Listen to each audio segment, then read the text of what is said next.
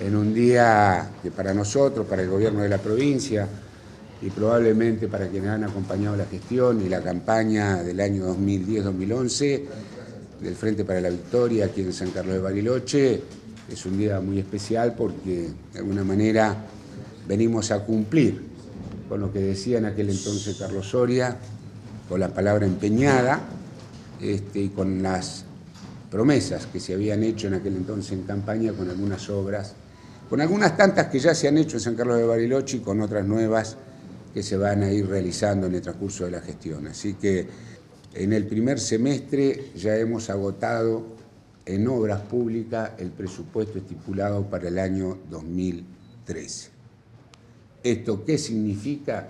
Significa que hay una plena ejecución en todo el territorio de la provincia de obra pública, eh, presupuestos que están en ejecución, eh, licitaciones que se están realizando, otras que ya se han adjudicado, pero esto significa que hay un gobierno, una administración provincial que está en acción.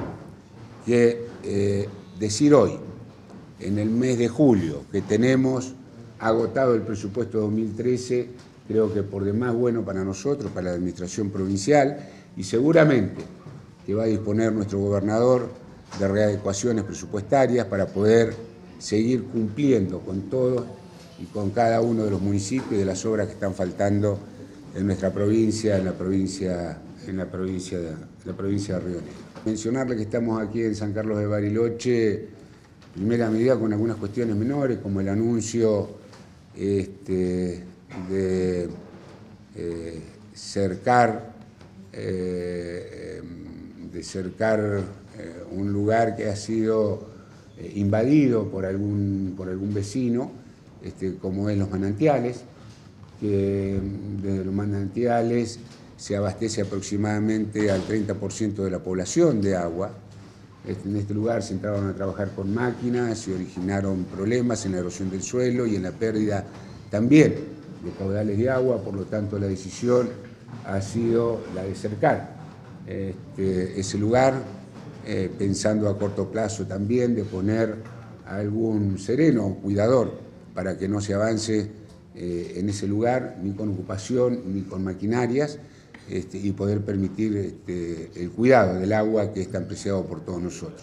Cercamiento que tiene que ver con una inversión de alrededor de 400 mil pesos, ministro.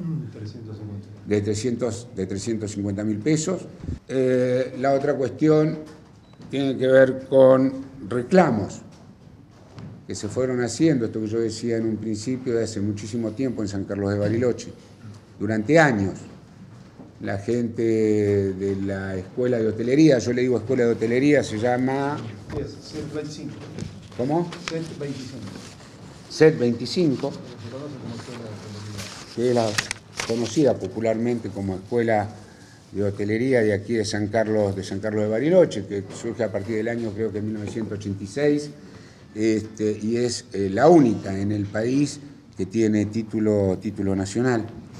Y venimos hoy a decirle que eh, el edificio ha tenido un presupuesto definido por obras públicas, por el gobernador de la provincia, en conjunto con, con la intendenta de aquí de San Carlos de Bariloche, un presupuesto total de 804.623 pesos para el mejoramiento de la escuela de hotelería. Esto es ampliación, remodelación y refacción